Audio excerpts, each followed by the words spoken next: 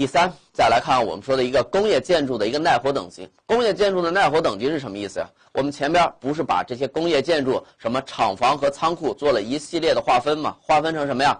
甲、乙、丙、丁、戊五个种类的厂房或者仓库。甲、乙类最危险，戊类相对来说比较安全。这个时候呢，我们说甲、乙、丙、丁、戊分类结束之后，我们就。首先吧，应该叫做首先，首先就来尝试确定我们说建筑的耐火等级。耐火等级说的什么呀？其实简单来说啊，建筑的耐火等级，也就是说这个建筑防止燃烧、防止燃烧事故扩大、防止燃烧事故蔓延的一个能力。所以我们把建筑的耐火等级分成了四级：一级、二级、三级，还有四级。简单来说。一级耐火等级的一个建筑，它防止火焰燃烧、防止火焰蔓延的能力和效果最好，也就是说防火能力最强。四级耐火呢，它的一个防火能力是最弱的，耐火等级是最低的，但是它的造价也是最便宜的。所以通常来说啊。针对于我们说的一个甲乙类的厂房，我们说它的危险性质太大了，我们一定要求耐火等级越高越好，最好甲乙类厂房就是我们说的一级耐火或者二级耐火，利用一个建筑比较高的一个耐火等级来达到一个防止火灾蔓延的一个作用。而这个时候呢，我们想一下啊，这个耐火等级是针对于我们说建筑整体的一个防火性能而言，但是。这个建筑整体是由什么构成的呀？我们上边有我们说的一个屋顶承重构件，下边有楼板，前后左右有我们说的承重墙，有梁，有防火墙、防火隔墙，然后我们外墙可能有承重，可能不承重，还有这些维护用的这些我们说的一个非承重外墙，还有我们说其他的户和户之间的分户墙，或者区域和区域之间的防火隔墙。这个时候，所有的这些建筑构配件儿。形成了一个建筑的整体呀，对吧？而形成这个建筑整体之后呢，我们针对于这个建筑整体提出了一个耐火等级的要求。所以这个时候，建筑整体的耐火等级是由谁决定的呀？是由这些所有的这些建筑构配件来决定的。而建筑构配件的燃烧性能和耐火极限，就决定了这个建筑。整体的耐火能力，也就是说，决决定了建筑整体的耐火等级。也就是说，如果这个时候这个建筑内部啊有一系列的建筑构配件，我们怎么确定这个建筑的耐火等级呢？我们不由这个最经烧的、最耐烧的这个建筑构配件来确定建筑的耐火等级，由谁来确定啊？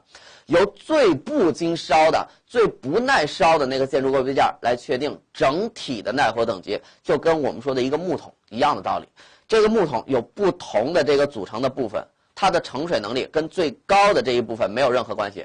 哪一个部分是最低的，也就是决定了这个建筑这个木桶它的一个盛水力，它的一个防火的能力到底是多少。所以我们一定要理解一个观点：这个时候我们在确定完了建筑的耐火等级之后，我们又对这一系列的建筑构配件都有要求。都应该达到相应的燃烧性能，达到相应的耐火极限。燃烧性能是什么呀？燃烧性能也就是指的这个建筑构配件是不能燃烧的，还是很难燃烧的，还是容易燃烧的？不能燃烧的，比如说我们说的一个混凝土的一个加气气块，它就是燃烧不了，它就是一个不燃材料。而我们说的其他的难燃材料，难燃材料包括什么呀？包括我们说的做了一个防腐处理的这些防火门，对吧？这个那个。做了防火处理的这些其他的一个木材，都属于我们说的一个难燃材料。还有其他的一个可燃材料呢？可燃材料没有经过防腐处理的，这没有经过防火处理的这些门，都是我们说的一个可燃性的建筑构配件。所以，分别针对于不同的建筑构配件有要求，要求决定了这个时候我们说整体有多高的耐火等级。这一部分啊。我建议同学们有几个大的表格了解一下就行，不需要同学们掌握啊。但是只需要掌握里边的原理。原理什么呀？我们说建筑它的危险程度越高，耐火等级一定一定越高。我希望同学们理解甲乙类的建筑最好采用一二级耐火。听清楚我的话啊，最好采用一二级耐火。然后这个时候呢，我们确定完建筑整体的一个耐火等级之后，又针对于建筑室内啊。做了一系列的一个防火设计要求。建筑室内的防火设计要求，因为通常来说，针对于我们说的一个工业建筑啊，我们在火灾假设的时候，往往啊，如果这个工业建筑它的一个规模不会特别大的时候，往往我我们就假设，这个时候建筑内部同一时间只会发生一起火灾，所以我们在火灾假设的时候啊，同一时间只会发生一起火灾，而这个火灾呢，是从一个点从一个区域向其他的区域进行蔓延和扩散，所以。这个时候，我们利用了防火墙，把这个建筑内部划分成了不同的一块儿一块儿的一个小的区域。作用什么呀？一个区域发生燃烧、发生火灾的时候，利用防火墙做了一个完整的一个防火封堵。这个位置发生火灾，你就在里边着吧。它这个火灾理论上来说不会蔓延到其他的一个区域去。这就是我们说的划分了这些小区域的作用。因为划分这些小区域。作用什么呀？防止火灾的蔓延，所以我们就给它了一个专用的名字，叫做防火分区。防火分区的作用就是把建筑室内划分成了不同的小区域，达到防止火灾蔓延的作用。这个时候呢，书上也有一个大的表格，针对于厂房来说，甲、乙、丙、丁、戊类的厂房，对吧？它都有不同的一个防火分区的一个面积要求。这个表我也不建议大家去记忆，了解一下就行。了解一下，了解什么呀？这个时候甲乙类最危险，丁戊类呢是最安全。越危险的区域，它越容易发生火灾。发生火灾之后，火势更难以被扑灭。所以我们说的一个甲乙类的一个防火分区，它一定一定我们说比较小。而丁戊类的一个防火分区呢？丁戊类的防火分区，要不是一个男人，要不然是一个不燃类的一个物质。往往来说，这个时候即使发生了火灾啊，我们说内部也没有特别大的一个燃烧扩大的一个危害，所以我们就把它的一个防火分区啊做了一个适当的一个增加。然后呢，这个时候我们划分防火分区就会用到一系列的防火分隔。这个防火分隔，同时这个时候啊，我们前面能看到啊，这个防火分区呢，什么两千平、三千平，通常来说也很大。这个时候，针对于我们说的一个工业建筑内啊，可能有不同的一个小的区域，再做了一个细致的一个划分。什么意思啊？首先划分成两个防火分区，一防火分区和二防火分区。但是根据我们说的一个工艺工艺的一个连续性啊，我们又可能把这个一号区域或者二号区域啊划分成了更小段的一个不同的区域。比如说 A 是我们说的一个装置反应区，然后呢 B 呢是我们说的一个后续的一个精致区，然后这个 C 可能是我们说的一个成品的一个包装，然后其他的有是一个别的什么临时休息区啊，这个区那个区都有不同的一些功能性分区。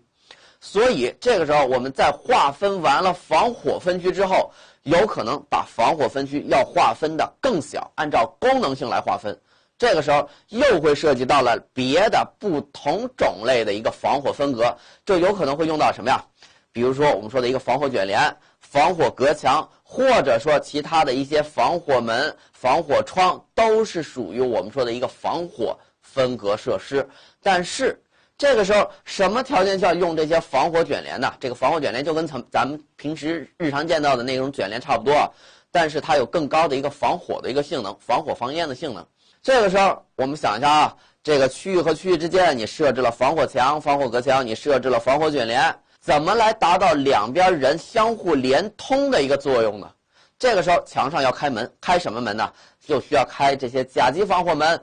或者乙级防火门，这个时候它仍然是叫做防火门，跟普通门不一样。防火门它仍然能够保证两部分人的一个正常疏散和正常的连通，同时呢，它的火灾的时候啊，这个门一定自动关闭，达到防止火焰蔓延的作用。这也就是我们说的防火门，这个时候作用就是一个连通的作用。还有防爆泄压。这个防爆泄压，简单的来说，跟前面我们说看到的一些什么防爆泄压用的一个门、泄压用的窗户，还有泄压用的轻质的钢的一个墙体或者轻质的一个钢屋面，都是我们说的一个防爆泄压措施。在爆炸冲击波产生的一瞬间，一个整体的构配件完整性受到破坏，这个时候达到内部的压力向外进行泄放的作用。然后我们分别来看一下这些不同的一些建筑构配件啊，这些防火的一个分隔的建筑构配件。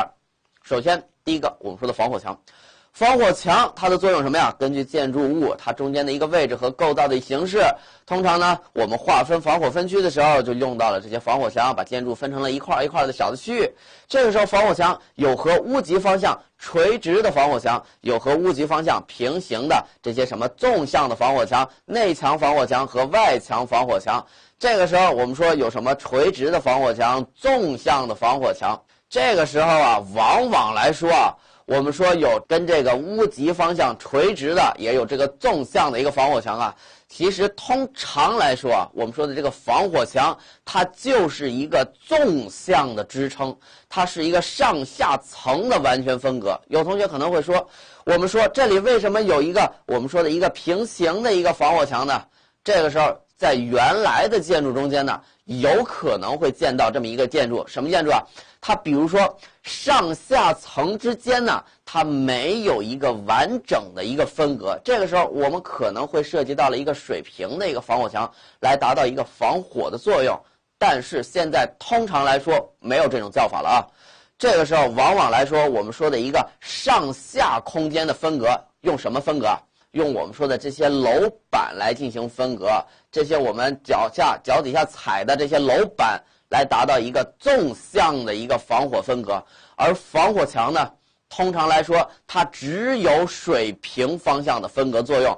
所以，我们看一个平面图的时候，这个时候一个平面图，防火墙它就是立在这个建筑中间，达到一个水平方向分隔的作用。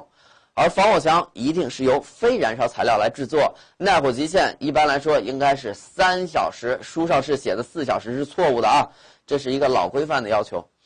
然后防火墙内部不应该设置通风的排气道，应该保证这个防火墙整体的一个完整性，不应该开设门窗洞口，但是可以开，可以开门的时候用什么样的门呢？用甲级防火门，耐火极限、耐火等级不低于一点五小时的防火门。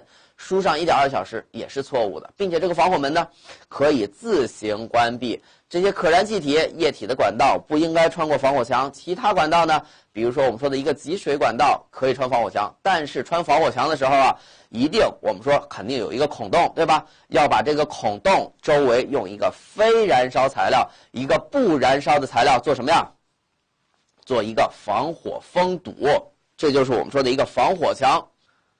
然后我们再来看一下第二个防火门。防火门的作用是什么呀？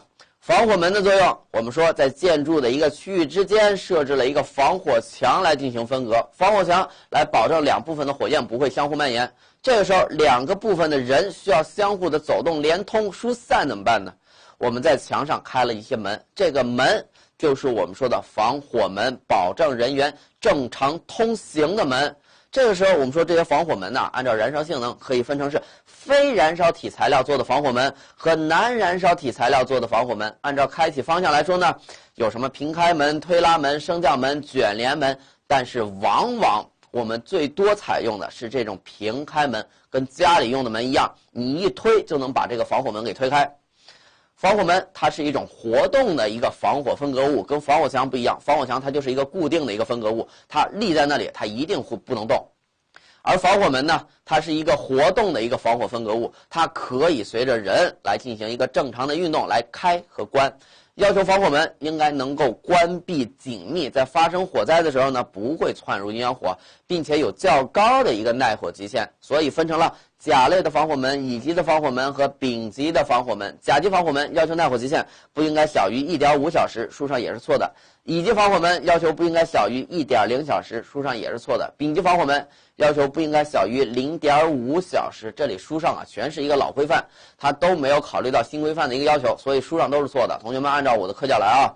为了保证着火的时候防火门能够及时关闭，最好在门上设置了自动的关闭装置，保证了这个防火门在着火的时候自行关闭，达到一个防火蔓延的作用。这是我们说的防火门。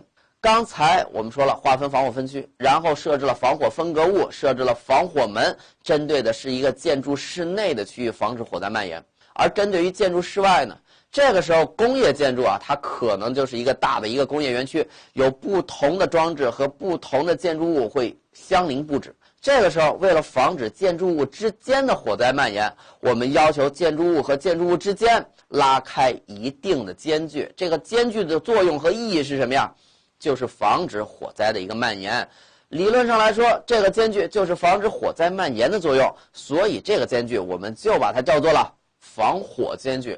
而这个防火间距它有什么样的一个具体要求呢？防火间距简单来说，越大越好。但是考虑到建筑用地的成本问题啊，我们不可能设的特别大，所以我们针对于具体的建筑来说，我们给了防火间距的一个最小值。我们实际在检查的时候，防火间距比这个值越大越好。只要比这个值大，我们就认为是合理，就能够达到防止火灾蔓延的作用。而这个防火间距怎么算呢？两个建筑物相邻的时候。也就是这两个建筑物和建筑物之间相邻外墙的距离，而如果是一个建筑物和一个储罐外相邻呢，也就是这个建筑物外墙和储罐相邻外壁之间的距离。如果是这里两个储罐之间相邻呢，也就是罐和罐之间的外壁的一个距离。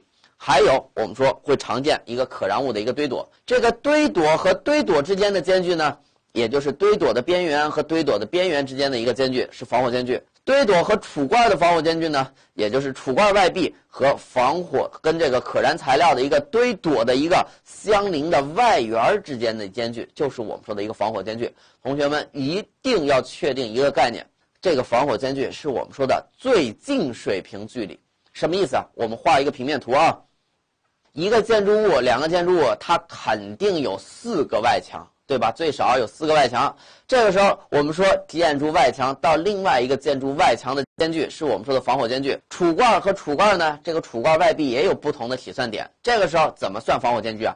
这个外壁和外壁之间的最近水平距离。储罐呢，也是储罐外壁和储罐外壁之间的最近水平距离。一定要注意这个概念，防火间距是最近水平距离。第四，防爆泄压装置。防爆泄压装置，这个时候针对于我们说的易燃易爆的厂房啊，这里他说厂房不太对啊，易燃易爆类厂房，它的一个泄压装置可以使用这个轻质面板做的这些屋顶，或者用于易于泄压用的一些门窗，还有这些我们说的易于泄压用的一些轻质墙体，来保证一个泄压用的作用。但是这些门窗啊。最好是向外开启，为什么呀？因为泄压的过程是里边的压力比较大，向外进行泄放啊。这个时候向外开的门和窗才有泄压的一个作用。为什么这里说也可以用轻质墙体来泄压呢？同学们想一下，我们在发生爆炸、产生爆炸的一瞬间，这个时候门窗被吹开，这时候屋顶被掀飞，这个时候外墙也被直接掀飞掀开，所有的完整性一定会受到破坏。如果是外墙，它外边相邻的是什么呀？有可能是相邻的其他的建筑物啊，有可能是我们说的一个城市交通干道啊。这个时候，你内部的压力确实泄放出去了，你内部的危险也降低了。但是呢，你给外边带来了一系列的安全隐患呢。所以，我们最好采用的是什么呀？就是这些轻质的屋面板来保证泄压。所以我们有一系列的要求，什么要求？我们看一下啊。这个时候呢，泄压的面积应该尽可能的靠近易于发生爆炸的部位。也就是说，这个时候啊，我们说一个整体的一个厂房啊，如果厂房这个部分容易发生爆炸，我们最好把这些泄压设施啊设置在这个泄压部位附近，便于泄压。同时呢，应该避开人员较多的一个位置，或者一个主要的一个通道的一个场所。有爆炸危险的一个生产部位呢，一布置在单层厂房的靠外墙的位置，或者。多层厂房的顶层靠外墙的位置，以减少爆炸对其他部位的影响。这里应该是一个考点，什么意思啊？就拿我们说的一个轻质的墙体来说，轻质墙体能达到一个泄压的作用，同时呢，最好采用的是轻质的屋面板，也就是一个轻质的一个屋顶。这个时候，同学们想一下，一个单层的建筑，我们说就靠外墙就行，为什么呀？靠外墙能利用外墙泄压，能利用屋顶来达到泄压，能利用门窗来泄压。而多层建筑呢？多层建筑我们一定要把它放到一个顶层。顶层的意义是什么呀？把它放到顶层，首先能用到这些门窗泄压，也能用到一些外墙泄压，同时放到屋顶，我们也能用这些轻质的屋面板来达到泄压的作用啊。对吧？你如果没有把它放到顶层，放到中间层，放到多层建筑的中间层或者首层呢？这个时候它发生爆炸，只能利用外墙泄压，可能外墙的泄压面积达不到泄压要求啊。这个时候内部的压力没有被完全泄放出去，内部一定会受到灾害、受到损害。还有，同学们想一下，如果是一个单层建筑，我们靠外墙，这个时候人员疏散只能够靠外墙。这个时候人员疏散从别的位置向一个外墙来疏散，理论上来说，向其他的一个非爆炸区域的外墙来疏散，很简单能达到一个疏散的作用。而多层建筑呢？多层建筑我们把它放到了顶层，这个时候啊。顶层的人往二层走，二层的人往一层走，一层的人往外边走。这个时候，顶层即使发生爆炸，也不会影响人员的疏散。但是，你如果把它放到了多层建筑的首层呢？所有人的疏散一定会经过首层，也就是说，所有人员在疏散的时候都有可能受到爆炸冲击波、爆炸碎片的影响。所以这里有一个考点，就是我们说这个时候单层靠外墙，多层顶层靠外墙。来看看这道题啊，下列工业建筑它的一个防火防爆的一个设计原则中间说法错误的是，让你选出错误的选项。首先我们看一下 A 选项啊，确定工业建筑的一个火灾危险性后，火灾危险性甲乙丙丁戊，然后根据建筑的高度、使用性质这些建筑特性，确定建筑整体的一个耐火等级，然后提出具体的防火设计要求。这不就是一个原则性的问题吗？没有问题啊，B。选项再看一下，工业建筑划分防火分区的一个目的是限制建筑内的一个火灾的蔓延，没有问题，是限制建筑内火灾的蔓延。C 选项，易燃易爆区域设置的一个防爆泄压设施，可以预防燃爆事故的发生，属于事故预防措施。这里就错了，为什么呀？它是泄压设施啊，爆炸发生之后，把内部的压力向外进行泄放，所以它不是预防措施，它是什么呀？它是我们说的一个事故减轻性的措施啊，对吧？再来看一下 D 选项啊，D 选项利用防火墙、防火隔墙、防火门、防火窗划分不同的功能区域，在一个耐火的极限内呢，保证我们说的一个耐火完整性和耐火隔热性，限制不同区域间的火灾的蔓延。这里就是我们说的利用防火分隔，防止火灾和烟气蔓延的一个作用嘛。所以 D 选项也没有问题。唯一错误的就是这里 C 选项，它没有区分或者理解错了我们说的预防性措施或者减轻性的措施。再来看一下第三部分，第三部分我们又针对于危险场所的一个防火防爆啊，提出来具体的要求。第一个。油库，油库也就是我们最常见的这些石油库，大型的一个甲乙丙类液体的一个储罐区。这个时候呢，油库它储存的一些石油产品，包括了汽油、柴油和煤油。这个时候，我们说汽油啊是甲类物质的一个代表性物质，煤油呢是乙类物质的一个乙类危险性的一个代表性物质，而柴油是丙类火灾危险性的一个代表性物质。这个时候，这些甲乙丙类的一个可燃性的液体啊。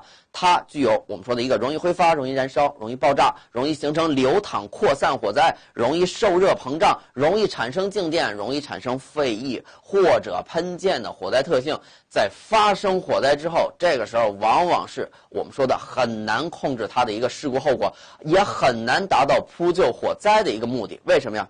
这个时候我们全部是这种甲乙丙类的储罐，我们虽然储罐和储罐之间拉开了一个防火间距。但是，一个储罐它可能是上万升的一个油品或者液体啊，这个时候它燃烧，我们说很这个火势很难进行扑救。同时，这些甲、乙、丙类的液体，它是液体火灾，我们不能拿水去扑救啊，我们最好拿什么扑救啊？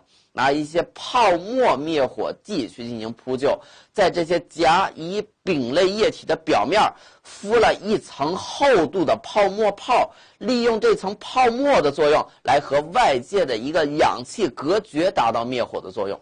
但是，一旦火势太大，这个时候把这个泡沫泡很容易直接烧破、直接烧穿。